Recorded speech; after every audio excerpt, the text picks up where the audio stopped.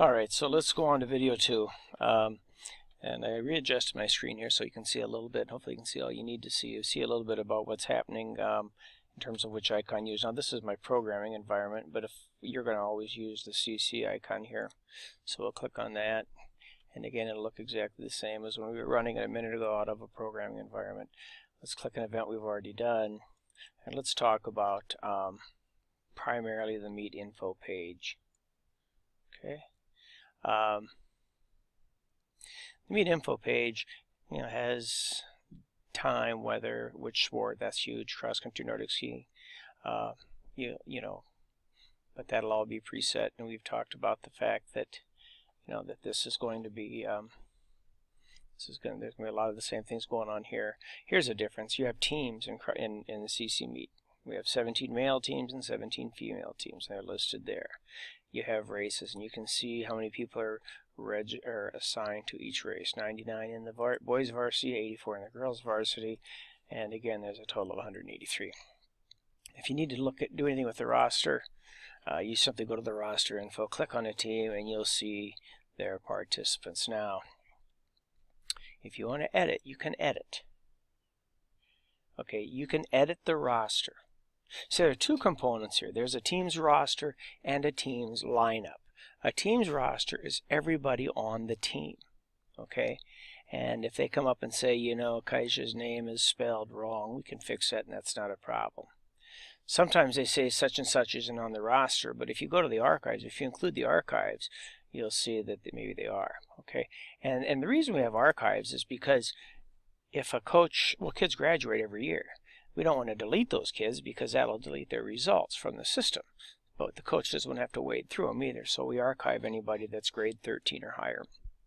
Or maybe a kid came out last year, isn't out this year, they can archive them. They can go ahead and archive that kid. Now, at this point, you can't add to the roster.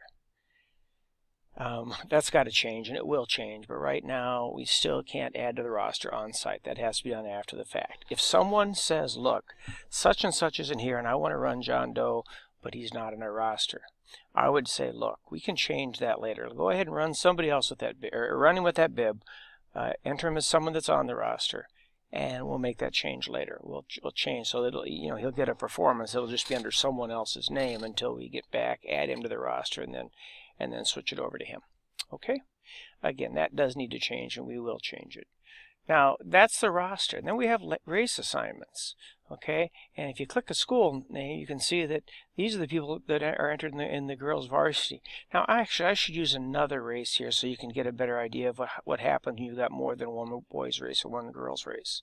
So let's go to new meet and let's go to uh, one of the conference meets we did. So let's go to the Mississippi 8 Championships. So let's go to race assignments notice that there's uh, more races. There's boys 7th and 8th, boys JV, boys varsity, girls 7th and 8th, girls JV, girls varsity. Since I selected a girls team, it obviously only populated that. If I select a boys team, the opposite is true. Um, you almost never need this display. Uh, you can, but you know, what you typically want to be able to do is to switch people from race to race, uh, or or move people to um, or to, to add someone to a race that's not in there, and that can be done. We absolutely like like Carson Bisbee is not entered in a race. He's a ninth grader. If we wanted to add him, we could add him. Just click that and click Add to Race. Done deal. Okay, not a problem. Okay, that's taking someone who's already on the roster and adding them to a race. That's different than adding them to the roster.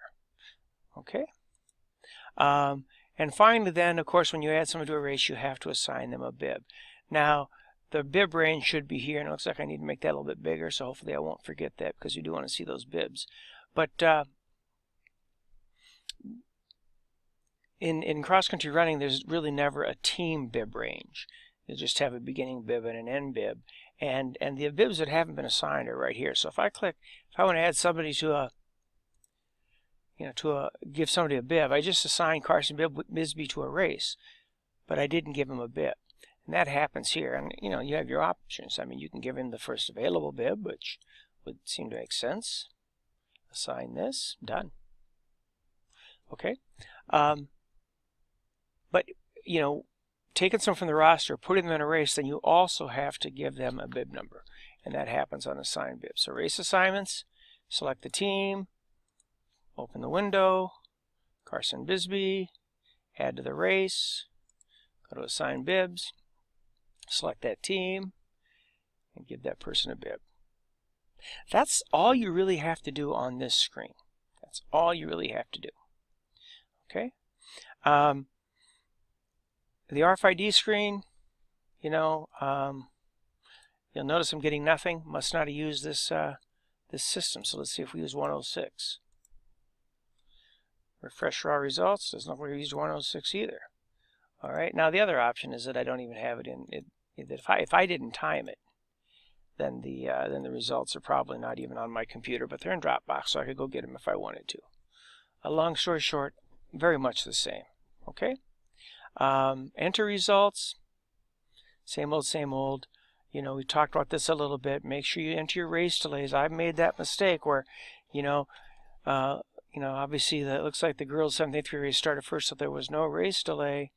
But, you know, jo Jonah Brewer didn't take 30 minutes and 34 seconds to run the race. He finished after 30 minutes and 34 seconds after the time had elapsed from the beginning of the meet. But his race started 19 minutes and 43 seconds late, so that gave him this time. So you got your race delay. You, you usually won't have an individual delay. Um, you'll notice that as the meet goes on and on, the race delays get bigger because races start, you know, a lot later. Okay. Uh, otherwise, just override RFID, and you just take it from there. Um, upload. There's two. There's several places to upload. You can. Oh, let's not forget this. Go to Team Results.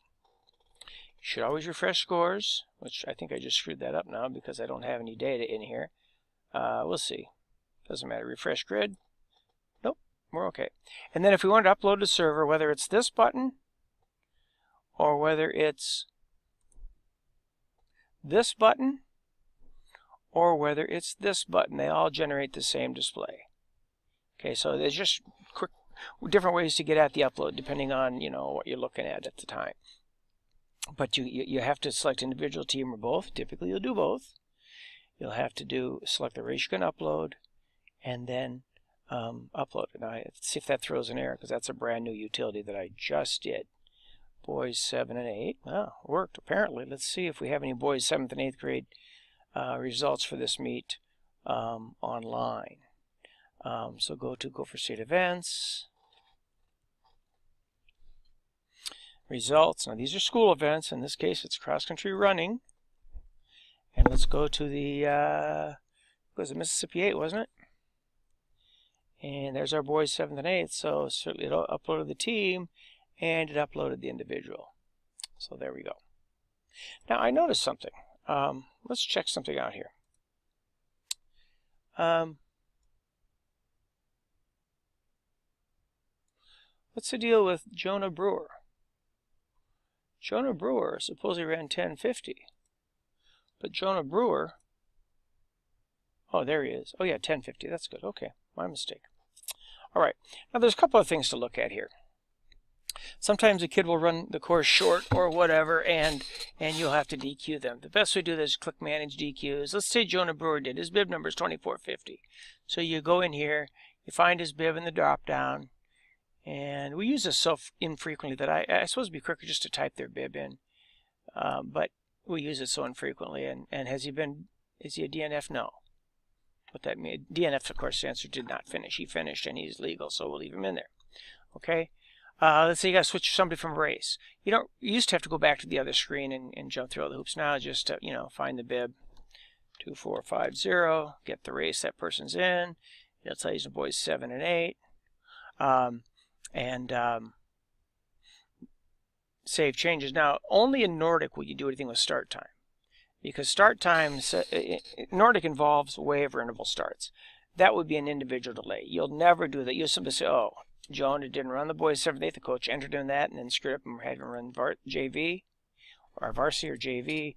Make that, you know, save changes, leave. That's all you have to do. Okay?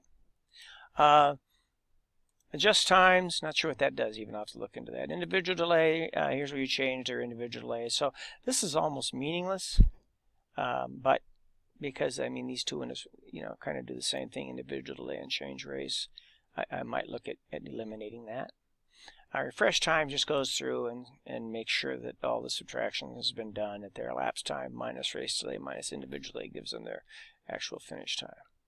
And you know, you don't always have that sorted by time, especially in something like pursuit. So we can sort by time, we can sort by nor a normal sort, which is often time, but it's actually by default it's place. So again, that's how to process results. Uh, I don't want to click override here because it'll take them away. Um, but hopefully, and that what, what that's designed to, let's take a look.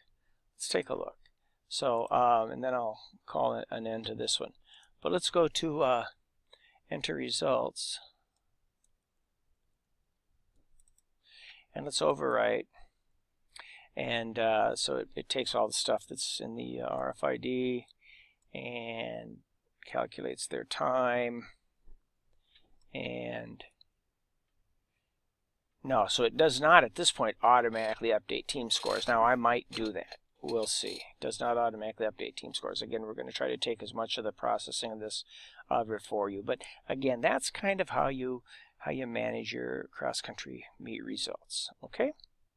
Um, and those are kind of that's really kind of all you need to do. I mean, I you know I shouldn't say that. I mean, you know, you might also have to you you you'll have to print and and, and but it's not a tough process really. Uh, the process is the the place the time it gets tough is when your coach runs a kid in a different race. So you know if, if you see any of these that say boys JV or or something, you know that the coach ran the kid in the wrong race, and you just go in and you switch it. Okay. Uh, over here, insert finisher, delete finisher, fill open place. Again, you, the only ones you'll typically use there if you have a no read is an insert finisher. Um, delete maybe. Most of that won't you won't be anything you'll need. This will be by far the one you use the most. So there's your there's your video on how to how to process uh, CC meet results. Okay, thanks.